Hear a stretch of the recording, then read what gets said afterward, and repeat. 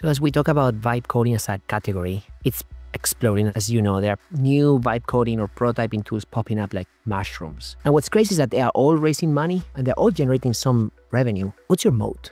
I think we're about to enter the trough of the Gartner hype cycle. At one point, there was, I believe, a different vibe coding startup got funding every day of the week. Anybody can create that. And we think it's great that people are creating them. We think in the next 18 months or so, there will be a couple of real winners that emerge here.